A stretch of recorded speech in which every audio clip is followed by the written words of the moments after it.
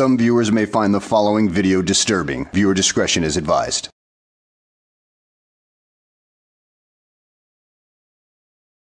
Well, hello and welcome back to the channel. In today's video, we find ourselves in Gaylord, Michigan, where De facto Media Group is dead set at antagonizing the local police just to get more content for his rather sorry YouTube channel. So let's sit back, relax, and enjoy the show. Gaylord. A town of about 4,000 people in northern Michigan was devastated earlier this year by a rare, record breaking EF3 tornado.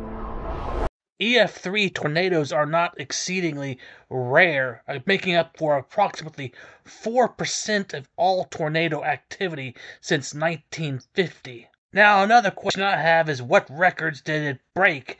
I mean, you don't provide any sources or anything like that, so it's kind of, uh, you pulling statistics out of your ass? A devastating tornado rips through northern Michigan. First at 11, one person is dead and 44 people are injured. Confirmed tornado causing significant damage in Gaylord, Michigan, where buildings are flattened and debris litters the ground. Now, over six months later, as Gaylord rebuilds and continues forward, there's another storm brewing that's becoming more and more evident. The background music, the soft voice, all an appeal to pathos, an appeal to emotion, to prepare somebody to accept what they're about to say. Somebody definitely studied rhetoric, and they're going to definitely use this skill to present you with a bunch of BS, as the video will plainly show. The storm of tyranny. Recently, several videos have emerged showing aggressive behavior towards civilians from local law enforcement. De facto begins recording as he approaches this traffic stop. Oh, yeah, he's just innocently walking up to a traffic stop. He has no ill will intended. Uh, he is not looking for confrontation. Yeah, right. Several minutes elapse until Michigan State Trooper Jacob Hubbard initiates contact.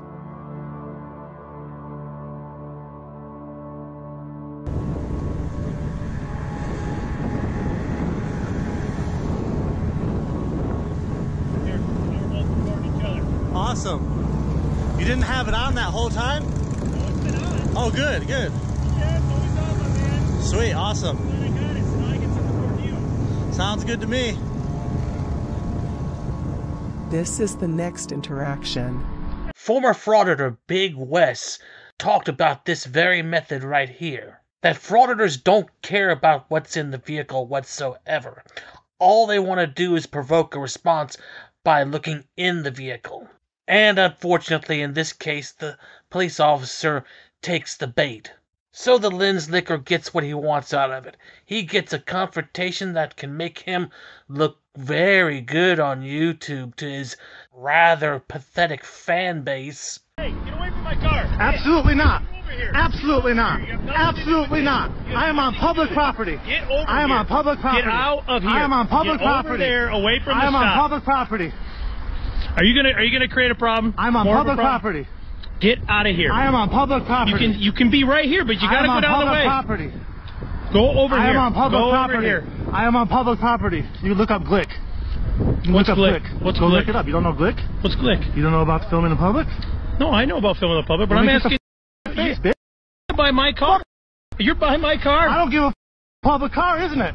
No, it's not. Yes, you it you don't have access to be inside the car. I'm not inside your car, am I? You don't have access to be touching the car. I didn't touch your car, did You I? got real close to it. I, I had to make sure. Get real close. I'll get real close. No, you you hit it. hit me. Bullshit. You You, hit me. me, You just put your arm out. Keep trying, buddy. Keep trying. Get away from. me. Fuck. Honk ass.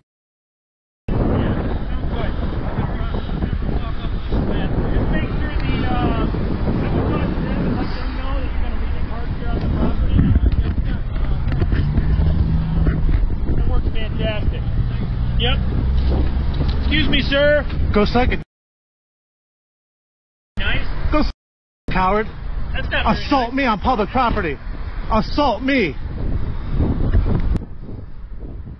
Trooper Hubbard clearly had an issue with this man exercising his First Amendment right. He then hinders, assaults, and accuses the man of assaulting him. You know your trooper just assaulted me. You guys are gonna be YouTube famous, just like Kalkaska. If you're gonna lie like that, don't show the video that proves that you what you're saying is a total lie. Otherwise, it's just gonna make you look like a complete fool. But I realize that's not your point. Your point is to try to make these guys look like tyrants, as you stated earlier in the video. But these pictures right here you see on the screen now are of pictures of real 20th century tyrants, and these are the results of their tyranny. Look at them well. Do we have anything close to that level in this country? I don't think so. If you want to know what it's like to live under a tyrant, go to Germany and talk to those who actually lived under Adolf Hitler. Then you will learn what being under a tyrant is like. Or better yet, find the YouTube channels of those who escaped from North Korea and learn about what it's really like to live under tyranny.